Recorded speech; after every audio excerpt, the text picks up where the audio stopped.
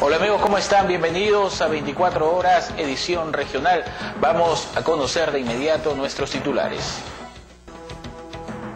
Y en el distrito de Catacaos, un regidor de la municipalidad eh, denunció ser víctima de amenazas. Él asegura que los delincuentes le piden más de 20 mil soles para no atentar contra su familia.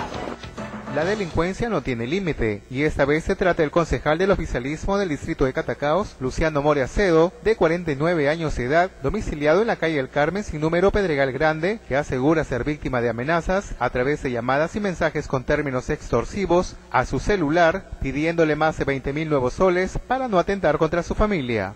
Y esa hora me llamaban a las 12 y 20, me pedían la suma de 25 mil soles para que no le hagan daño a mis hijos. Yo no les respondía, no les contestaba. Ellos ya han empezado a enviar mensajes.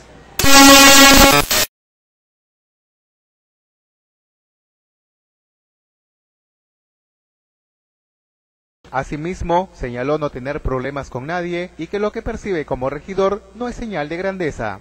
Me parece que se han equivocado, que porque tengo este cargo como, como regidor, pensarán de que se gana dinero, mucho dinero. Nosotros creo que, que no, no conocen el sueldo que tiene un regidor. El caso ya se encuentra en manos de la sección de investigación de delitos contra el patrimonio en la modalidad de extorsión de PINCRI, Policía Nacional del Perú Piura, haciendo todas las investigaciones correspondientes. Sin embargo, el regidor se mostró preocupado por la seguridad de su familia. Yo le pido a las autoridades que yo pido garantías, yo pido ahorita seguridad, más seguridad y pido las investigaciones que se hagan. Bien, estamos de regreso con lo anunciado y bandas ecuatorianas y colombianas estarían incursionando en la siembra de marihuana en la Sierra Piurana, así lo señaló el general de la policía Denis Pinto, quien además informó que hasta el momento se han incinerado al menos 9.500 plantones de esta droga. El general de la policía y jefe de la región policial Piura Tumbes, Denis Pinto, informó que en lo que va del año se han intervenido e incinerado un total de 9.400 plantones de marihuana instalados en la zona de la serranía de Piura. Los últimos hallazgos datan en las zonas de Las Lomas y Chulucanas, citó la autoridad policial. 17 se han intervenido primero en la zona de Las Lomas, 1.500 este, plantones de marihuana, eh, 50 kilos de semilla y 20 kilos de marihuana seca lista para comercializarse.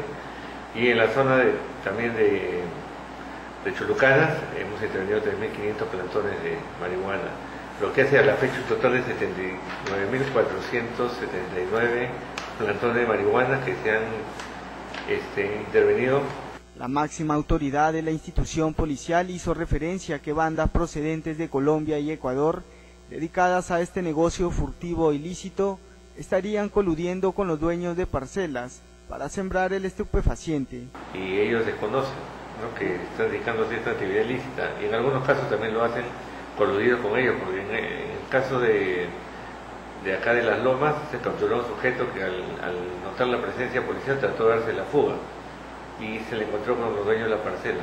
O sea, eso demuestra de que habido, se han coludido para cometer este tipo de delitos. ¿no? En esta medida, Denis Pinto no dudó en reafirmar la labor de la policía antidrogas que permanentemente realiza megaoperativos para hacerle frente a este negocio ilícito. Este, estas plantaciones eh, están en, zonas alejadas de caseríos, no están en la misma cerca de la población, sino lugares que es difícil acceso de personal policial. Eh, para llegar tiene que valerse varios medios y se ha empleado la inteligencia en este caso para poder llegar hasta esa zona. Se encuentran cubiertos con densa vegetación y con cultivos de maíz para poder este, camuflar esta actividad ilícita. 24 horas, edición regional.